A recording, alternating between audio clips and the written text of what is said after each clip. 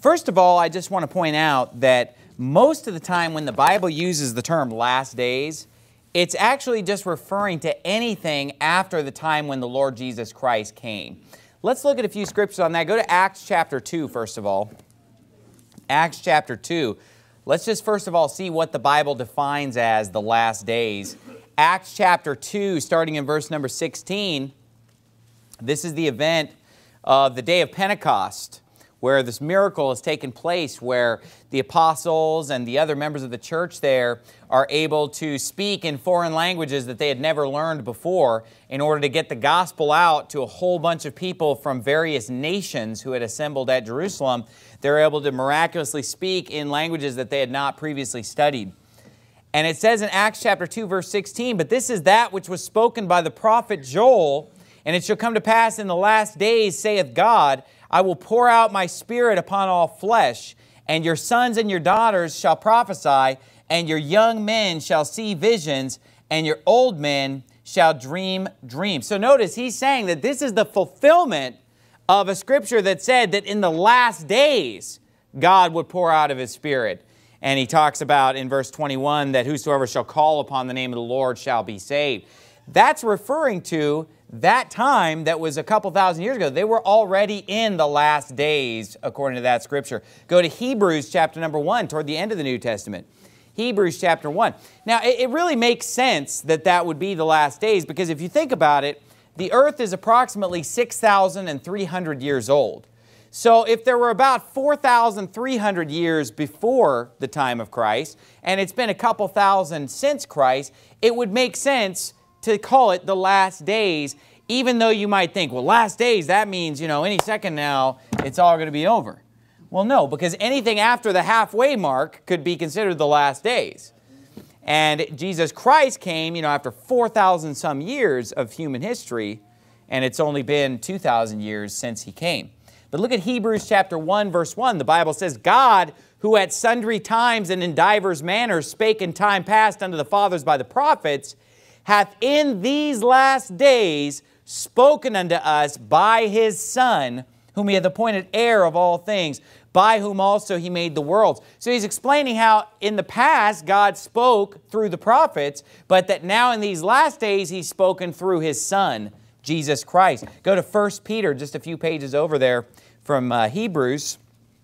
Flip a few pages to the right in your Bible to 1 Peter chapter 1 verse 18. The Bible reads, "For as much as you know that you were not redeemed with corruptible things as silver and gold from your vain conversation received by tradition from your fathers, but with the precious blood of Christ, as of a lamb without blemish and without spot, who verily was foreordained before the foundation of the world, but was manifest in these last times for you." Who by him do believe in God that raised him up from the dead and gave him glory, that your faith and hope might be in God. Now flip to 1 John chapter 2, the last place on this subject. 1 John chapter number 2. So we see that the time of Christ and thereafter is consistently called in the Bible the last days or the last time. Look what it says in 1 John chapter 2 verse 18, little children, it is the last time. And this is written almost 2,000 years ago. Little children, it is the last time. And as ye have heard that Antichrist, that's singular, Antichrist shall come, even now are there many Antichrists, plural, whereby we know that it is the last time. They went out from us, but they were not of us. For if they had been of us, they would no doubt have continued with us, but they went out that they might be made manifest that they were not all of us. But ye have an unction from the Holy One, and ye know all things. I've not written unto you because you know not the truth, but because you know it, and that no lie is of the truth. Who is a liar but he that denieth that Jesus is the Christ? He's Antichrist that denieth the Father and the Son. Whosoever denieth the Son, the same hath not the Father, but he that acknowledgeth the Son hath the Father also. So here we see very clearly that they were already in the last time, in the days that First John was being written. And he says, look at all the antichrists that surround us. And he says those that are antichrists are those who deny that Jesus is the Christ. And the word Christ simply means Messiah. And so he's saying they are denying that Jesus is the Messiah, meaning that they believe in a Messiah, but that it's not Jesus. You can't deny that Jesus is the Messiah if you don't believe in a Messiah. These aren't atheists. Atheists aren't saying that Jesus is not the Christ. Atheists are just saying that there is no Christ. They don't believe in God. They don't believe, you know, the fool had said in his heart that there is no God. Right. But these are talking about basically the Jews who said there's a Messiah coming, there's a Christ coming, but it's not Jesus.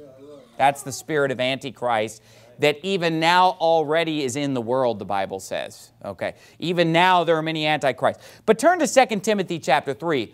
And let's talk about the last days as we would think of it. Because when we talk about the last days or the end times, we don't normally mean anything after the coming of Christ. We don't normally just mean anything in the New Testament. What we normally would mean by that when we say the last days, we would talk about just the very last days leading up to the second coming of Jesus Christ. And the Bible does have a lot to say about that subject as well. And so I want to preach to you this morning about living in, you know, the very last days. What is it going to be like as we see the day approaching, as Christ's coming draws near? What are going to be the characteristics of the world at that time? The signs where we could look at it and say, wow, it must be getting close because I can see these characteristics of the very last days. Well, first of all, number one, the Bible tells us that sin will increase in the very last days as we approach the second coming of Christ. Uh, you don't have to turn there. Go ahead and be in, in 2 Timothy 3.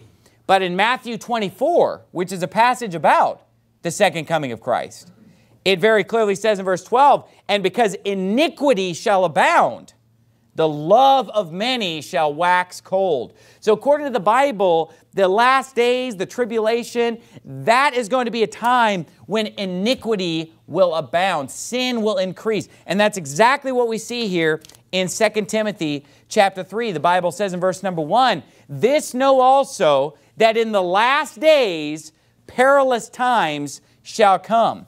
For men shall be lovers of their own selves, covetous, boasters, proud, blasphemers. And he lists all these different sins. But jump down, if you would, to verse number 12. It says, Yea, and all that will live godly in Christ Jesus shall suffer persecution. But, watch this, evil men and seducers shall wax worse and worse, deceiving and being deceived. So, what's he saying in this passage? He says, In the last days, perilous times will come, dangerous times will come.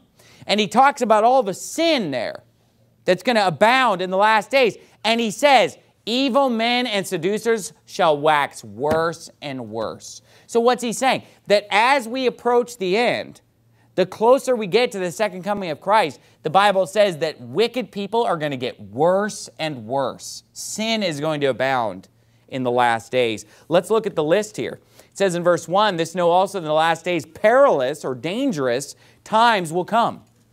For men shall be lovers of their own selves, covetous, boasters, proud, blasphemers, disobedient to parents, unthankful, and unholy. And we can see these characteristics in America today in 2015 abounding more and more. When you think about how people are lovers of their own selves, we live in such a self absorbed society where people are constantly just thinking about themselves and looking within themselves, and they're so wrapped up in themselves where they can't uh, pay attention to what's going on with the people around them. It's just all about me. And the decisions that they make don't take into account how they affect other people but it's just about their happiness. And I just want to be happy. And our world even teaches us that this is a virtue to be true to your own self and, and to, to do what makes you happy and find happiness in this world. And it's all about you being fulfilled and happy. And you know what you find is that these people are never fulfilled. Because anybody who lives a self centered, self absorbed, loving of your own self kind of a life is going to be miserable because you're never going to be satisfied. You're never going to achieve your state of fulfillment that you're trying to reach. But the Bible tells us that people will be lovers of their own selves. And what's that going to lead to? Being covetous, you know, where you just desire more stuff for yourself, more money for yourself, more goods. You know, who cares about winning people to Christ? Who cares about helping other people or, or you know, being a good example to other people? No, no, no. It's just about how much stuff I can get. It's just about how much fun I can have, how much pleasure I can enjoy. And coveting everything that we can't have. He says, lovers of their own selves, covetous, boasters, just bragging about how great they are and how wonderful they are and how much money they have and how successful they are and how smart they are, proud, blasphemers. And of course, if you're proud and if you're self absorbed, of course you're going to be blasphemous.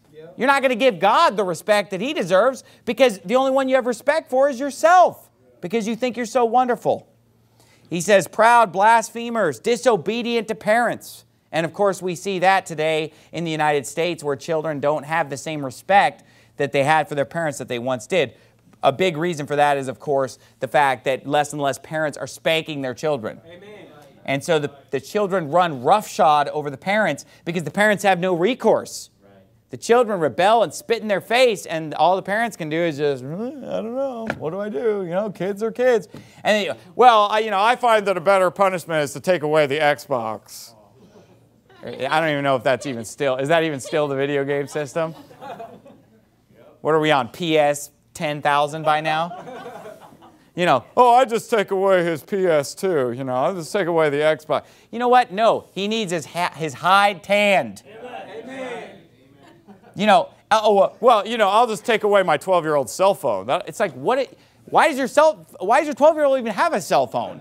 For you to even take away as a punishment. But it's like, I'll just take away their cell phone. I'm just going to take away my 11 year old's iPad. That'll show him. You know, a bunch of spoiled brats today. And that type of discipline does not work. You know what works? A spanking. What God said would work. The Bible says, withhold not correction from the child. For if thou beatest him with the rod, he shall not die. Thou shalt beat. Amen. Thou shalt beat. It says, Thou shalt beat him with the rod and shall deliver his soul from hell. Let those three words sink down into your ears, my friend.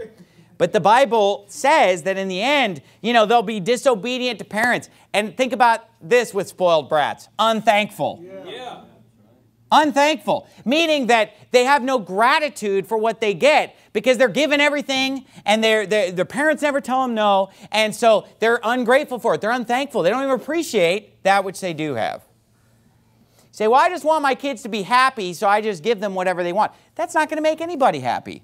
Getting whatever you want makes you a spoiled brat, unthankful, and unholy.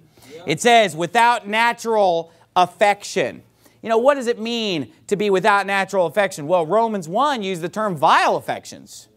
You know, natural affection is basically when a man is attracted to a woman. That's natural affections. Basically, a man gets married to his wife, and they two are one flesh, and the man desires a physical union with his wife, and the wife desires a physical union with her husband. That's natural affection. That's normal. But without natural affection is saying that basically that's not the, the, the, the union that they desire. They desire anything else. All kinds of filthy, perverted unions. You know, see Leviticus 18 and Leviticus 20 for a rundown of all the filthy imaginations of mankind. But the Bible says that they'd be without natural affection. Of course, we see that. Truce breakers. These are people who would make an agreement, they would make a deal, and then they would break that agreement. They would break their word. The Bible says false accusers. And this is a big one today where people just falsely accuse people at the drop of a hat without any evidence. Well, you're just this and you're just doing this. And I mean, I can't even count all the times I've been falsely accused where people will just make things up just out of nowhere. Just accusations fly. And the Bible said that in the last days there would be false accusers abounding. He says incontinent. That's people who can't contain themselves, people who can't control the lust of the flesh, and they just let their desires run rampant. And, if, and whatever they want, they're going to gratify their lust. Fierce. And watch this despisers of those that are good. He says in the last days, people are going to hate those who are good. They're going to hate you for being a good person. They're going to hate you for being moral or righteous or godly. He says that they are despisers of those that are good. He says traitors, heady, high minded. And heady and high minded are kind of the same thing in a way proud, puffed up, vain in their own mind. And then he says lovers of pleasures more than lovers of God. So, what's the Bible describing here when it describes the last days? It describes a time when sin is going to abound, and the Bible says in the same chapter that evil men and seducers will wax worse and worse. There are going to be just people abounding who hate God, who hate the people of God, who despise those that are good, who persecute the people of God, and who just only care about themselves, their own lust, their own covetous desires and just about praising themselves, lifting up themselves. Look, we live in that day, if we look around, where people are self absorbed. It's funny, when we, were, uh, when we were interviewing these Jewish rabbis for Marching to Zion, you know, we wanted to get the whole spectrum, you know, so we contacted every rabbi we could. So we talked to the Orthodox rabbi, the Reform rabbi, the conservative rabbi. And one guy we talked to was a humanist leader, a humanist Jewish leader. And so, you know, I said, what does that mean to be a humanist rabbi? And he said, well, here's the thing. We basically don't necessarily believe in God. So he said, we, but we like all the religious services of being a Jew. You know, we like to do the, the, the Hanukkah and the bar mitzvah and all, you know, we like that. So here's what we do. We go and we do a worship service where we replace God with ourselves. So basically, instead of praising God, this is what he literally told me. He said, instead of praising God, we praise ourselves. So in all their hymns, all their liturgy, all the praise, every time God is mentioned, they remove the name of God and they replace it with us, mankind, ourselves. Is that just amazing? I mean, I couldn't even believe what I was hearing. But isn't that what the Bible said would come? You know, just, just lovers of their own selves. Just, just covetous, boasting. I mean, how blasphemous. It'd be like if you took the hymns, right, and replaced them with yourself. Praise me, praise me, tell of my excellent greatness. Sing, O earth, my wonderful love proclaim. Hail me, hail me, highest archangels in glory. Strength and honor give to my holy name. I am coming over the world victorious. Power and glory unto myself belong. I mean, can you imagine coming to church and singing that? Wouldn't that just be bizarre and ridiculous? But that's what they do. It's real. It's in Phoenix. Humanist Jewish congregation. He, I said, can you give me some examples? And he read me some liturgy where they praise themselves. What in the world? But we live in this narcissistic, self absorbed, self glorifying society where it's just all about us and just uh, us living a wonderful life for ourselves and, and just having everything that we want instead of us laying down our lives for the brethren or enduring all things for the elect's sakes that they may also obtain the salvation which is in Christ Jesus with eternal glory. Right. Why don't we do it for the sake of, of souls to be saved? And live our life as parents for our children and live for our wife. You know, lay down our, be willing to lay down our life for our wives and, and basically uh, care about other people instead of just lifting ourselves up. You know, uh, and, and our own ambitions instead of furthering the gospel and helping other people achieve the things that God has for them, etc., etc. So, this is what we see here a time where sin abounds and people are very focused on themselves and they're not giving God the glory. They're worshiping and serving the creature more than the creator. So that's what we see. But nextly, go to 2 Peter chapter 3. So the first thing I want you to see about the last days in the Bible is that number one, it's going to be a time when sin is going to increase. Sinners are going to get worse. Wicked people, reprobate people, they're going to get worse and worse, and people are going to begin to despise those that are good. I mean, you, wouldn't you think that even worldly sinful people would still like good people? Right. I mean, even if they don't want to be good themselves, you think they'd still look at somebody who's good and respect that, and like, but they don't. They don't. They never have. Because the Bible says, not as Cain, who was of that wicked one and slew his brother. And wherefore slew he him? because his own works were evil and his brother's righteous. Marvel not, my brethren, if the world hates you. So when someone else's deeds are evil, they're going to hate the righteous and despise those that are good because it makes them feel guilty. You know, it shines the light on their own sinful heart. But secondly, not only will it be a time of, of great sin and iniquity and self centeredness, selfishness, uh, number two, it will be a time when the doctrines of the Bible will be scoffed at in the last days. He says specifically that the second coming of Christ, the biblical creation, and the flood, those three things specifically, will be scoffed at in the last days. Look at your Bible there in verse 3 knowing this first, that there shall come in the last days scoffers, walking after their own lust. So this ties into the first point. You see, it starts with point number one. It doesn't start with scoffing at the Bible. No, it starts with being a very sinful person a very covetous person, a person who's filled with lust and self centered desire and doesn't care about anyone but themselves. See, that person who's filled with lust is then going to find a doctrine to fit their lust. See, they don't find doctrine and then decide, okay, how am I going to live my life? No, they decide how they want to live their life for themselves, and then they say, okay, now let's find the doctrine to go with it. So they start out with ungodly lust, then then they, they have the audacity to scoff at the promises of the Bible because they don't fit their lifestyle. Why do ungodly people hate the Bible? Because it condemns their lifestyle. Yeah. The Bible says this is the condemnation that light is come into the world. Men love darkness rather than light because their deeds were evil. Yeah. For everyone that doeth truth cometh to the light. It says that his deeds may be made manifest that they're wrought in God. But it says he that doeth evil hateth the light, neither cometh the light, lest his deeds should be reproved. He doesn't want his deeds to be reproved. Jesus said, you know, uh, the world cannot hate you, but me it hateth, because I testify thereof that the, that the works thereof are evil. He said, that's why the world hates me, because I'm testifying that the works of people are evil.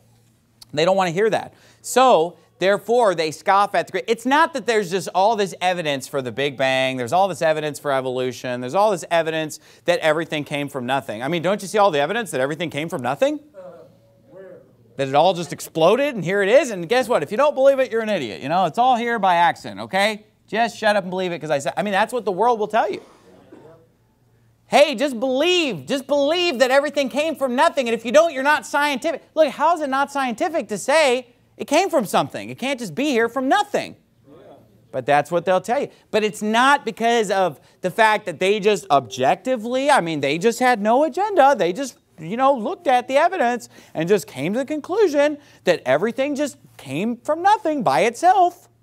No, what it is that they decided, I hate God. That's the first step. I hate the Bible. I hate God. I don't want to obey God's rules. I don't want to live a clean life. I don't want to get married to a woman and, and have kids and, and, and be godly and go to church and read my Bibles. So they say, you know, I want to go out and commit a bunch of sin.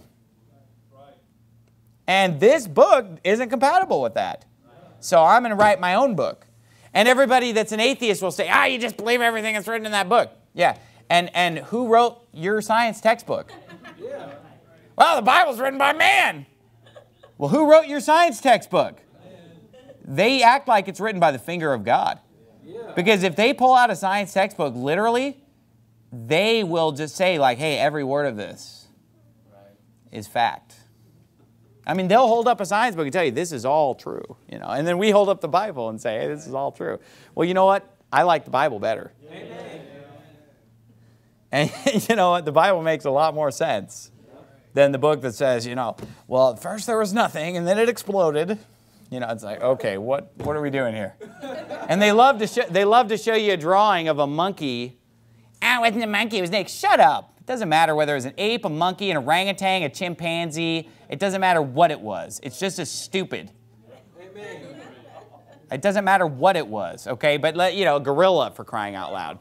But, you know, they, they love to show some monkey or ape or whatever the stupid thing is slowly turning into a human being right? But I, that I don't want to. I want to see nothing slowly turning into something. Yeah. And I would rather see. I'd rather see nothing turn into the first living organism. You know, because they, ah, it all started from a single-celled organism. Yeah, except that a single-celled organism is really complicated. Yep. Yeah. Hello? Do you remember in science when you'd study the paramecium and the amoeba? Remember the paramecium looks like a shoe footprint? And then the amoeba is a little more of just a round blob. And you look at the amoeba and the paramecium, they're pretty complicated actually. So I want to see the diagram where nothing or just, you know, primordial soup or whatever, liquids or gases or whatever, just the early sludge of the earth, I'd like to see those components, the proteins or the whatever, you know, I'd like to see all that stuff just form itself into that amoeba. Where's that chart? Where's that poster? Yeah. Where's the poster how DNA formed? I mean, DNA is really complicated. Yeah. And every living thing has DNA. Where did it come from? How could it evolve? Show me the chart. You don't have a chart. But what you do have is a big paycheck, yep. a fancy car. And the respect of all your students who think of you, oh thou gray ponytailed one. You know every, you know, down at ASU and you you know when you're teaching the science class, but you know what? It's not fact, friend. It's fiction. It's fables. And so the Bible says, knowing this first, that there shall come in the last days scoffers. Scoffing at something is when you would make a mockery at it. Scoffers, walking after their own lusts. What's the motive to scoff? Your own lust. Saying, Where is the promise of his coming? For since the fathers fell asleep, all things continue as they were from the beginning of the creation. For this they willingly are ignorant of. So again, this is something where they decided that they didn't want to believe in it not because of the evidence. It says they're willingly ignorant. They purposely blind their minds to the truth. He says, For this they willingly are ignorant of, that by the word of God the heavens were of old, and the earth standing out of the water and in the water, whereby the world that then was, being overflowed with water, perished. But the heavens and the earth which are now, by the same word, are kept in store, reserved unto fire against the day of judgment and perdition of ungodly men. But, beloved, be not ignorant of this one thing, that one day is with the Lord as a thousand years, and a thousand years as one day. The Lord is not slack concerning his promise, as some men count slackness, but is longsuffering to usward, not willing that any should perish, but that all should come to repentance. But the day of the Lord will come as a thief in the night, in the which the heavens shall pass away with a great noise, and the elements shall melt with fervent heat. The earth also and the works that are therein shall be burned up. So, Christ's coming is a certainty. It's going to happen.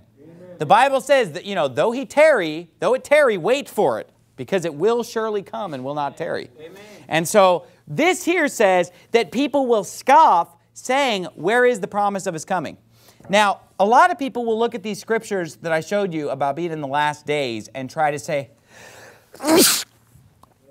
and they would try to say that you know, oh, well, they thought it was going to happen in their lifetime. Everybody in the Bible, the whole New Testament acts like it was going to happen in their lifetime. But in reality, it says here that people are going to scoff.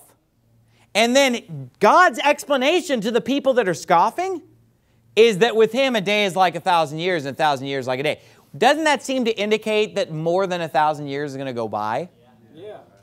Before they're going to start saying, because here's the if, it, if Christ were to have come, you know, a 100 years after the time of the apostles, would it really make sense to say, well, where is the promise of his coming? Since the beginning of the creation, all things continue as they were, you know. No, it makes more, and, and then for him to say, well, a day is like a thousand years, a thousand years like a day. That makes it sound like it's going to be thousands of years before Christ would return, to where people would think, hey, it's been a really long time. And he says, well, hey, there's a reason why he's waiting. What's the reason? The Bible says the Lord is not slack, verse 9, concerning his promise. It's not that God is just slacking. Like, you know, I've been meaning to return. One of these days I'm coming back. You know, you know some people will keep saying they're going to do something and they just kind of never get around to it. That's, I guess, he, he's saying God's not like that. He's not up in heaven just kind of slack about it and just, oh, I guess I got to return sometime, but later. No, it says he's not slack concerning his promise, as some men count slackness, but he says, but is long suffering to usward, not willing that any should perish, but that all should come to repentance. I believe that what he means by that is that basically he's waiting and giving more people a chance to be saved. More people a chance to be saved. Okay. Because if he were to return before people could get saved, you know, then they miss out. So he's long suffering. And, and my third point is going to is gonna touch on that as well. But he's long suffering to us, word, not willing that any should perish, but that all should come to repentance. And it says, But the day of the Lord will come as a thief in the night. And why does he compare it unto a thief in the night? He says, Because when they shall say peace and safety, then sudden destruction cometh upon them as, as travail upon a woman with child, and they shall not escape. The thief in the night analogy is that he said, Look, if the watchman would have known at what hour the thief was coming, he would have watched and would not have suffered his house to be broken up. He's saying if a thief is going to be successful, they come at an hour that you think not. They don't let you know, hey, I'm going to break in your house at 1.30 a.m. Because then you're going to be ready at 1.30 a.m. with the shotgun cocked and, and loaded and ready, and you're not going to suffer your house to be broken up. But he says that the thief comes at an hour that you think not. He comes in the night, and that's what Christ's coming will be. He said, at such an hour that you think not, the Son of Man cometh. That's why when you see people predicting it, you know it's false because he says it's going to be an hour that you think not that he comes. So when you see people sitting there and saying, you know, oh, these blood moons, John Hagee is, is telling us all about it. Or, you know, oh, you know, these are all, it's going to happen in September because the blood moons, you know. The Jewish calendar, you know, Hach Hachflem. And, and, and told Rabbi Hachflem told me that, you know, it's kind of, but here's the thing. Then I can tell you I cannot tell you when Christ will come because no man knoweth the day or the hour. Only the Father knoweth. But I can tell you certain days that he will never come.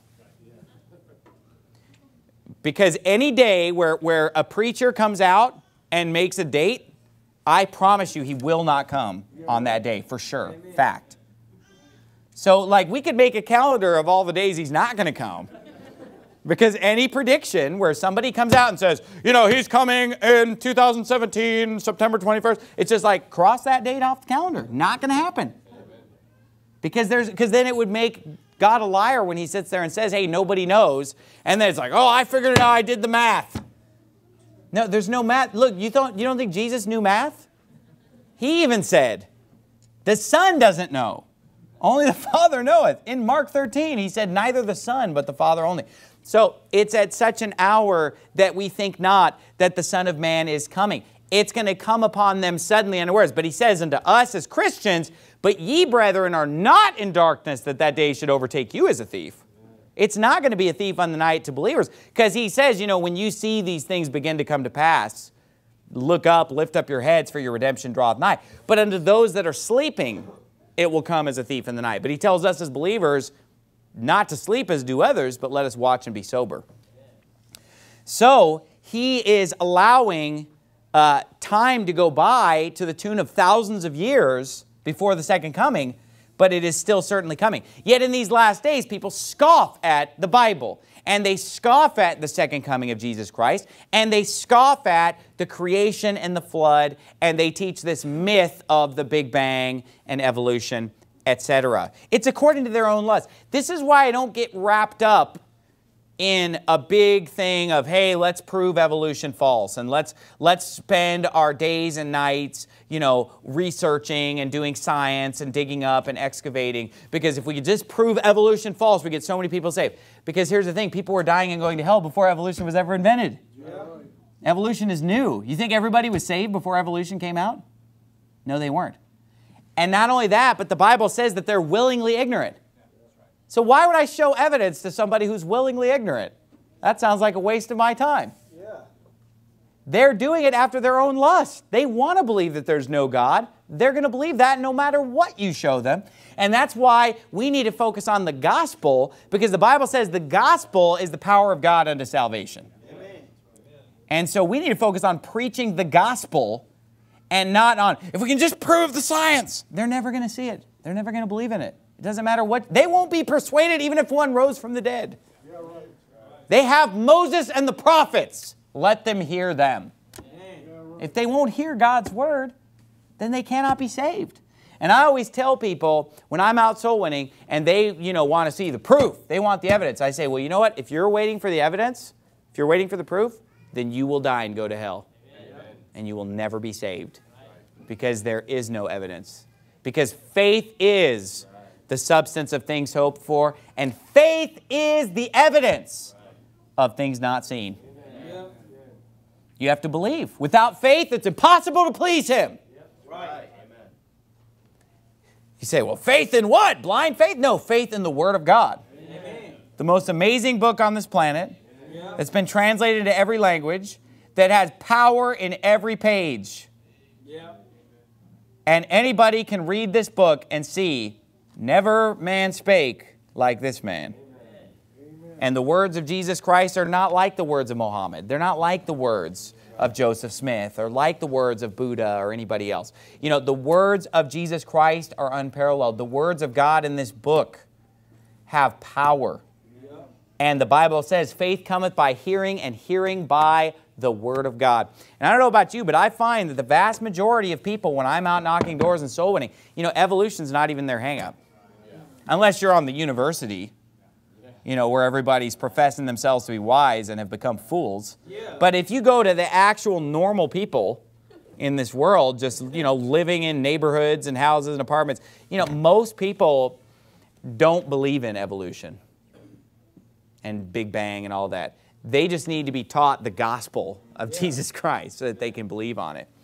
But thirdly, this go to Daniel chapter 11. We're talking about the last days. What's it going to be like in the last days? You know, how do we know if we see the day approaching? First of all, God said it would be a time when sin would abound and evil men and seducers would get worse and worse.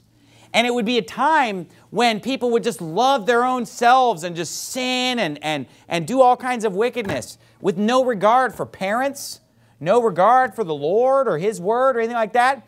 Number two, we saw that it would be a time when they would scoff at and mock the Bible. They'd make fun of creation, make fun of the flood, make fun of the fact that Jesus Christ is coming again. And of course, we see these things around us today in modern America. But thirdly, this according to the last days, there will be God's people in the last day. This is another characteristic of the last days in the Bible is that God's people will do great works for God. I believe that the greatest works for God will be done in the last days. I think that the most souls will be won in the last days. This is what I firmly believe. Let me show you some scriptures here. This is Daniel chapter 11, which is about the tribulation. It's about the, the very end. And it says in Daniel 11 31, an arm shall stand on his part and they shall pollute the sanctuary of strength, and shall take away the daily sacrifice, and they shall place the abomination that maketh desolate. Now, the reason I read that verse is because this is an event that Jesus Christ talks about, because he says, When you see the abomination of desolation spoken of by Daniel the prophet, whoso readeth, let him understand. That's what he says in Matthew 24, a chapter about the tribulation. That's what he says in Mark 13. And here it is it says right here, the abomination of desolation. So that gets our bearings of where we are in the timeline. And such as do wickedly, verse 32, against the covenant shall he corrupt by flatteries. But the people that do know their God are going to be weak and lukewarm and watered down. Is that what it says about, the, about God's people in the last days? They're going to be helpless. They're going to be weak. They're not going to be as great as previous Christians. No. It says they, the people that do know their God, shall be strong and shall do exploits. Exploits, great works. That's what an exploit is. It's some great work, some great achievement is known as an exploit. It says in the next verse, and they that understand among the people shall instruct many. Yet they shall fall by the sword and by flame, by captivity and by spoil many days. Oh, there's going to be persecution, make no mistake. But doesn't the Bible clearly say that in the last days, God's people will do great exploits and will instruct many? Now, this is something that's often overlooked. You know, people, people are often preaching. I'm sure I'm not the only pastor this morning who's getting up and preaching about how wicked the last days are going to be. You know, I guarantee you there are other pastors across America right now that are in 2 Timothy chapter 3 right now talking about, hey, look, this is the last days. Look what it's going to be like. I guarantee you that there are a multitude of pastors In 2 Peter 3 right now, talking about how in the last days people will scoff at the second coming. They'll scoff at the creation. They'll scoff at the flood. But one that you don't hear as much about, I'm sure that there's another preacher right now somewhere in the world preaching about Daniel 11 also. But I, I just don't hear as much about the great things for God that are going to be done in the last days. You hear more about the fact, hey, the world's going to get bad. But how about the fact that God's people are going to do the greatest works? I think that's something that we need to pay attention to. And also, this is taught in the New Testament. Now, first of all, we see it right there in Daniel chapter 11. But if you go to Matthew 24, because remember, Matthew 24 brings up the abomination of desolation, and then right after it says, the abomination of desolation, in the next breath, he says that those that know God are going to be strong in this time, and that they're going to do exploits, and they're going to instruct many. Well, what does the Bible say in Matthew 24 in the same scripture about the abomination? It says in verse 15, When you therefore shall see the abomination of desolation spoken of by Daniel the prophet stand in the holy place, whoso readeth, let him understand. Okay, but what's the verse right before that? Look at verse 14. And this gospel of the kingdom shall be preached in all the world for a witness unto all nations, and then shall the end come. Now, isn't that interesting that he brings that up? Now, I personally believe, and I don't have any doubt about this, I personally believe that the gospel has already been preached unto every nation of this world at some time or another. In fact, repeatedly throughout history. You know, I think if you look back over the history of the world over the last 2,000 years, multiple times the gospel has come, even places where we would think that's a really non Christian place. That's a place where the gospel is not being preached. But throughout history, the gospel has gone into these places not once, not twice, but repeatedly. Even I don't care what place you want to talk about, whether it's Korea, China, Japan, Mongolia, India. You know, the gospel has circled the globe and then circled it again and then circled it again and then you say, well, what about the, the jungles of Africa? Look, there's probably been more missionaries sent to Africa than any other place. Don't tell me about some guy in Africa who hasn't heard the gospel. Good night. There have been more missionaries to Africa probably than anywhere. I mean, that's the classic place that if you're going to be a missionary, you better be going to Africa, right? I mean, that's like the most classic place to be a missionary. The bottom line is that throughout history, the gospel has gone into all these places. But here's the thing in a lot of places, the gospel hasn't been there in a while. There have been generations and generations where there's been almost nobody preaching that. They might still have heard of Jesus, but there are places where the gospel was generations ago and where it's been forgotten. And there are also many places where even though the name of Jesus is named, it doesn't mean that it's the true gospel. Because there's another gospel and another Jesus. There's another gospel that says that salvation's by works. You know, there's another Jesus who's not the Son of God. Okay? And so there are a lot of people who have a corruption and a perversion. Obviously, a lot of these Africa missionaries are preaching a false gospel. Yeah. There's no question about that. So I'm not saying that everybody has a clear presentation of the gospel. I'm not saying that people don't need to go because listen, we need to go. And we need to get the gospel to all nations. That's what the Bible teaches. And people are dying to go to hell because no one's given them a clear presentation of the gospel. And in many places that once had even the Word of God in the New Testament, they don't even have the New Testament anymore, but they had it in the past. But they don't have it anymore. And what I believe that this is saying in Matthew 24, I don't think he's saying, hey, this gospel of the kingdom shall be preached in all the world for witness unto all nations. That means that once it gets to the last nation, you know, once that last language hears the gospel, you know, then Christ can return. You know what? That's already happened, in my opinion. It's already, and look, they may not have it today, but I believe that the gospel has circled the globe and circled the globe and circled the globe, and that these people in the past have heard it. Okay, even if they're not necessarily hearing it today. What I believe that this is saying in Matthew 24, if you actually look at the verse there in verse 14, where he says, This gospel of the kingdom shall be preached in all the world for a witness unto all nations, and then shall the end come. I believe is saying that in the last days, at the very end, it's going to go to all nations again. Everybody's going to get a final chance. I think that that's what he means when he says people are going to instruct many and they're, they're going to do great exploits and there are going to be uh, people in every nation that hear the gospel. Then the end comes. You know, it sounds to me like a succession right there of, hey, it's preached in all the nations and then the end comes. That in the last days, there's going to be more soul winning and more preaching of the true gospel of Jesus Christ than ever in the history of mankind. That's what I believe the Bible teaches. And so, the reason I bring this up, and if you would flip over to Revelation chapter 3, the reason that I bring this up is because a lot of people who've come under the influence of this false doctrine of dispensationalism have gotten this warped view of the end times. And here's what their view of the end times is their view is that basically in the end times, God's people, Christians, are going to be lukewarm. And they call this the Laodicean church age. We are living in the Laodicean church age. There is no such thing as the Laodicean church age. It's a lie, it's a fraud. And what they do is they say, well, you know, the reason God's people are so lukewarm is because we're living in the Laodicean age. No, speak for yourself if you want to be lukewarm. There are people in this world today that are red hot, soul winning, fired up, servants of God that want to be strong, that want to do exploits, that want to instruct many, that want to preach the gospel to every creature, and this down in the mouth, defeated, just waiting for some pre trib rapture to rescue you and saying, Well, we're living in the Laodicean church age. It's a lie, it's false, Amen. it's not true today. And it comes from this fraud, the Scofield Reference Bible, yeah. written by a man who is a corrupt fraud. A man who left his wife and married somebody else and then wants to pastor a church.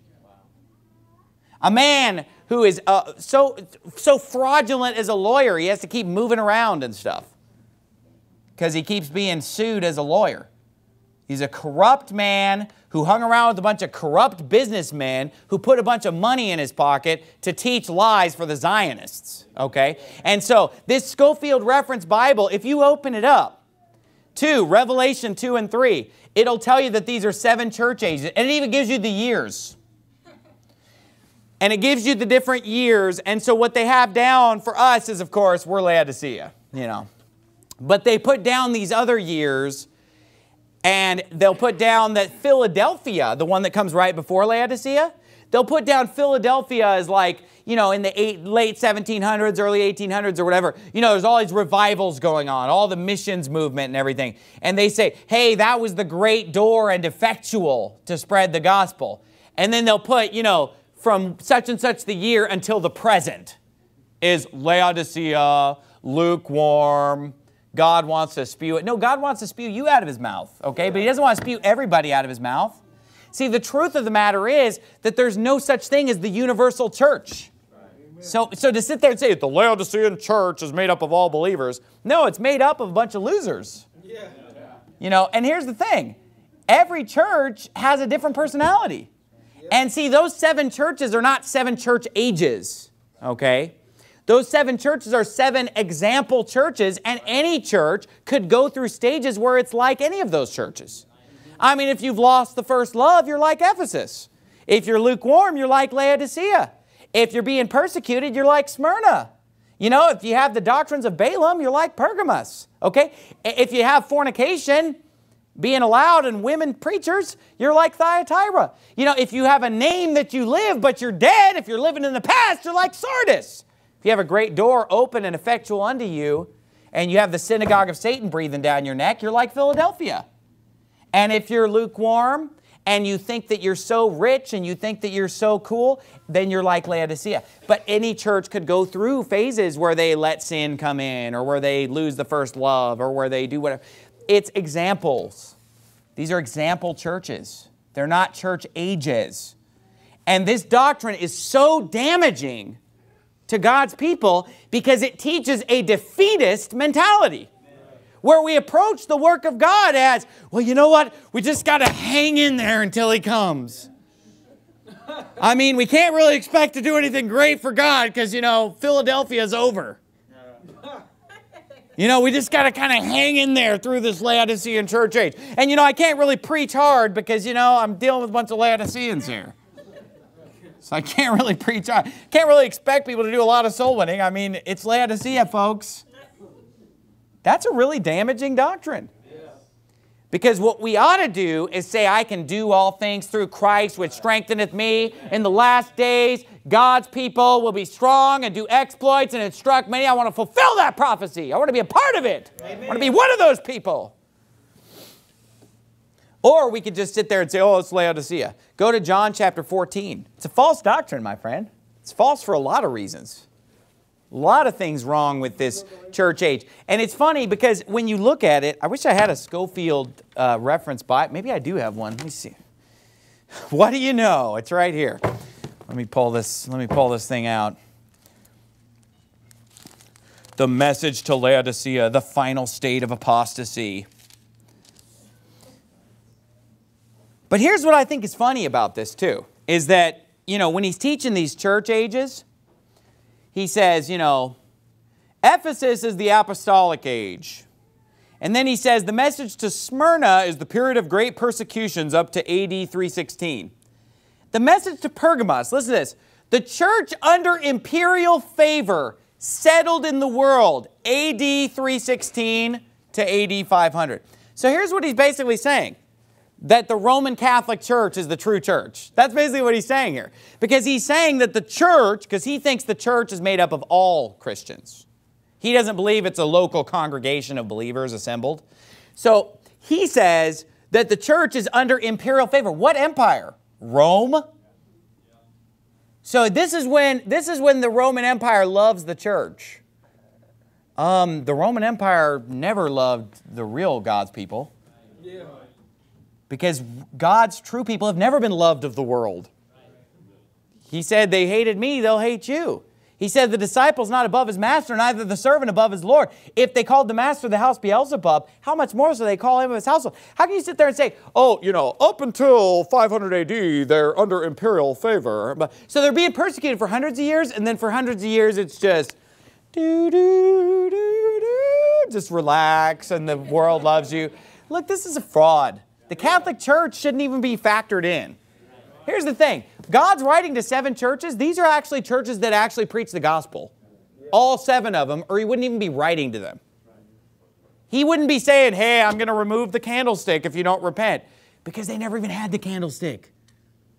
When you're a Roman Catholic church, you never had the candlestick. Amen. You're not a church of Jesus Christ. And God's not even talking to you except to just say, you know, come out of you, you know, except just to say you're a whore. I mean, he's not talking to you and saying, you know what, I know your works, I know the good things you're doing, but I have a few things against you. A few things against you? They don't even believe that salvation is by faith. Right. They're bowing down and worshiping a statue of a woman. Oh, Mary, help us. Hail Mary, full of grace. Swing those beads all over the place. You know, they're basically worshiping idols, worshiping a woman, yeah. teaching, hey, baptism saves. Hey, the sacraments save. Nothing to do with Christianity and the, and the true Word of God. Kissing the, bip, the, the Pope's big toe and saying that he is the vicar of Christ on earth. Say, well, they weren't bad, as bad back then. But here's the thing, though. They were lying heretics who started the Roman Catholic Church. Yep even in 313 AD with Constantine and, and all these different guys. So to sit there and, and, and take this seriously, you know, and think, oh yeah, you know, these are the seven church ages. And we're in Laodicea, the final state of apostasy. Laodicea. No, because people who are apostates are not even a church that Christ would even have anything to do with. Yeah. The Laodicean church is not an apostate church. The Laodicean church is a lukewarm church, but they still believe the gospel. It, otherwise, why would he even be talking to them? I mean, you think Jesus is like, okay, Mormon church, I have a few things against you. All right, Buddhist temple, I have a few things against you. Okay, Jehovah's Witnesses. No, because they're not even on his radar. Right. He's going to say to them, Depart from me, I never knew you. Amen. He's not going to say, Hey, I know your works. I know you. No, he doesn't even know you. If he knew you, you'd be saved. Right. Look at John chapter 14, verse 11, because I want you to understand this powerful truth that is found in John 14, 11 through 13. believe me that I am in the Father, and the Father in me, or else believe me for the very work's sake. Verily, verily, I say unto you, he that believeth on me, the works that I do, shall he do also, and greater works than these shall he do. Because I go unto my Father, and whatsoever ye shall ask in my name, that will I do, that the Father may be glorified in the Son. Don't miss this powerful statement in verse 12, where he says, He that believeth on me, the works that I do, shall he do also, and greater works than these shall he do, because I go unto my Father. Now listen, you can't do anything better than Jesus, can you? Who here thinks they're better than Jesus? Good night. But yet Christ is saying that those who believe on him would do greater works than he did. How can that be? Well, here's the thing. It cannot mean quality because no one can do greater works as far as a better quality than Jesus because Jesus was perfect. Jesus went about doing good. They said he doeth all things well. And so no one could excel Christ's works for quality. So when it says, the works that I do shall he do, and greater works, he's not saying that they're better. Greater in the Bible, usually the words great or greater are referring to size or quantity. When the Bible used the word great, that's how it's usually being used. Size, quantity. And so when the Bible says, the works that I do shall he do, and greater works. You know, if you think about it, the apostles did greater works than Jesus, not better than him, but they just did more. They accomplished more. They preached the gospel to more people than Jesus Christ did. Now, that right there shows us that God desires us to do great works and that we have the capability to do great works. And that the sky is the limit. So we need to get off this Laodicea mentality and we need to get on the Daniel 11 mentality and the Matthew 24 mentality and the Mark 13 mentality that says that the gospel must first be published among all nations. And no, published does not mean like publishing books and tracts. Published means preached, proclaimed. And so we need to understand that today in 2015, we are ready to do the greatest works that this world has ever seen. Why don't you get excited about that? You know, why don't we go out there and preach the gospel to more people and get more people saved than have ever been saved in the history of mankind? And I don't want to read about somebody from the 1700s and read about somebody from the 1800s. I don't want it to be said of us like it was said of David's mighty men, where he said, Yeah, David's mighty men were great. Those three guys were great, but he said, they weren't like the previous three, though. You remember that? He said, You know, the three men, they were mighty, they did great exploits, but they attained not unto the first three. So basically, the author there is lamenting and saying, you know what, the good old days. And back in the good, you know, I mean, yeah, these mighty men today, but let me tell you something the mighty men back when I was coming up were greater than. I don't want to hear that. Amen. I don't believe that. I think that we have the capability to be the greatest generation not of the, oh, look, not as America. Good night. This is the filthiest, most wicked generation America's ever seen. Yeah. But as God's people. And so the true story about the end times, it's not about the world getting real wicked and about God's people kind of getting lukewarm and watered down. No, here's the true story. God's people are going to do the greatest works of all time, and the world's going to get really wicked and they're going to get more different than they've ever been which explains all the persecution. Yeah. You know, because when you got people that are rising up and doing the greatest works, and then you got a world that's more wicked than ever, that's where the clash is going to come from. So be inspired, my friend. Be motivated. And there are great works to do, and we all need to get involved in doing it. And it starts right here in Phoenix, Arizona, we have more people to preach the gospel to right here in Phoenix, Arizona than lived in Jerusalem or anywhere else because this city is bigger than any city that even existed back in those days. There was no city of 4 million people back then. You know, we have a city of 4 million people right here that we can preach the gospel to and, and get them saved and knock doors and win souls to Christ. And you know what? There are other cities all over America where men need to be trained in this church and sent out to start churches in other cities in America and do great things. And yea, even men who would come out of our church and go start a church in a foreign country and do great works for God and reach a nation or reach a city or reach a state with the gospel of Jesus Christ. The sky is the limit. We can do greater works. We can do great ex- It's already been prophesied. I mean, look, God knows the end from the beginning. Somebody's going to do it. Someone will do it, or the Bible was not telling the truth. He said the gospel is going to be preached to all nations, then the end's going to come. He's saying that because he already know, he's already seen it all. In Revelation, it's all laid, it's already happened. It's done. But the question is, are we going to be a part of it? Number one. Question number two, how great, how great is it going to be? Because, you know, we know that some great work is going to be done for God in the last days. We know that many people will be saved. But here's the thing if we get involved, then even more will be saved. I don't believe it's just, well, whatever's going to happen is going to happen. I don't believe in Calvinism. Right. No, it's up to us to get on board with God's program. God's already predicted and said, hey, I already know some people will do it. There will be strong people who do great exploits. But you know what? Let's make sure that we're a part of it and that we push it and that we ride that wave and that we participate and get more people saved than any generation in the history of mankind. Let's bow our heads and have a word of prayer. Father, we thank you so much for your word, Lord, and we thank you for the shining light that it is in a dark world and in a crooked and perverse generation, Lord. Help us to stand as lights in the world. Help us not to get down in the mouth and say, Oh, how can we raise our kids? How can we live? Lord, help us not to just try to maintain or hang on for dear life, but help us to take it to the enemy, Lord.